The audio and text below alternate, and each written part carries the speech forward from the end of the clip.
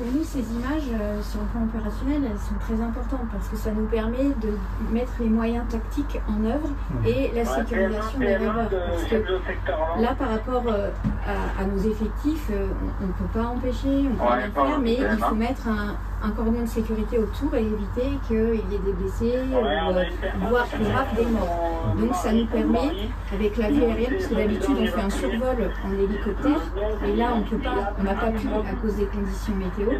Ça nous permet d'avoir une géographie aérienne, de savoir où les personnes sont et de pouvoir envisager des évacuations des moyens tactiques. Non, non, on est tous, en- on est tous là. Hier soir.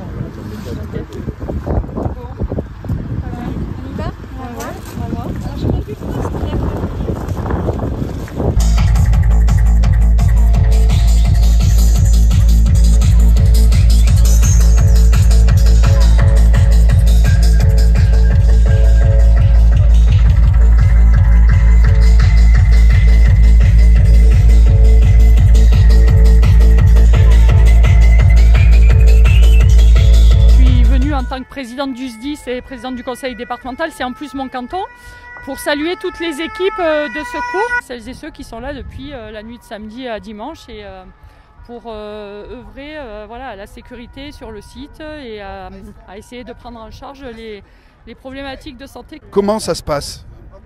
Bah écoutez, euh, en tout cas, il n'y a, aucune agressivité de la part euh, donc, euh, de ces personnes qui participent à la rêve partie. Bon, pour autant, le, le site est particulièrement sale.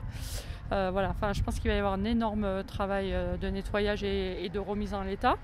Euh, voilà, il y a des bennes qui sont arrivées, mais euh, que hier soir. Euh, donc euh, bah, il y en a partout. En tout cas, d'après ce que me disent les collègues élus euh, locaux, ils me disent qu'il y a moins de monde que, samedi et dimanche. C'est vrai qu'on voit quelques emplacements vides. Voilà. On parle de. C'est une vraie ville, il y a 8 à 10 000 personnes. Oui, alors au maximum il y a eu 10 000, là apparemment un peu moins, mais euh, bon, euh, voilà, ils sont très très bien organisés avec euh, trois pizzerias, euh, voire des petites boutiques. euh, Enfin, c'est. hum, Voilà. Il y a un petit côté commercial.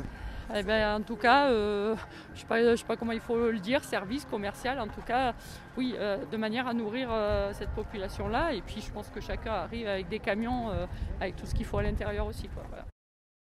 Il faut, pour bien parler de, quel- de quelque chose, il faut quand même le vivre. Et donc euh, se rendre compte de l'orientation de ces personnes qui sont présentes et qui sont nombreuses aujourd'hui. Et puis euh, avoir une, lancer une réflexion peut-être sur euh, le pourquoi de ces mouvements. Je n'ai pas de jugement péremptoire à faire, mais pourquoi cette jeunesse, pour l'essentiel, se retrouve derrière ce type de, manifestation. Je n'ai pas de réponse. Et ce sont des mouvements internationaux. Euh, quel plaisir y est retrouvé. Et après, on peut toujours juger euh, ce qu'on voit. Euh, mais ce n'est pas mon rôle aujourd'hui de juger. C'est surtout de constater une réalité.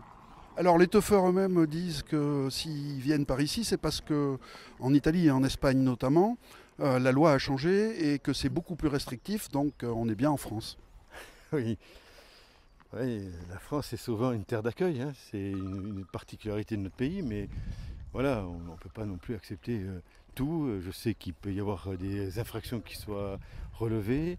Il peut y avoir des substances particulières consommées. Donc tout ça, ça interpelle. Et je peux comprendre que le citoyen français ne soit pas franchement très, satisfait de, de ce type d'orientation. On n'est pas là pour recevoir ce que d'autres pays ne veulent pas.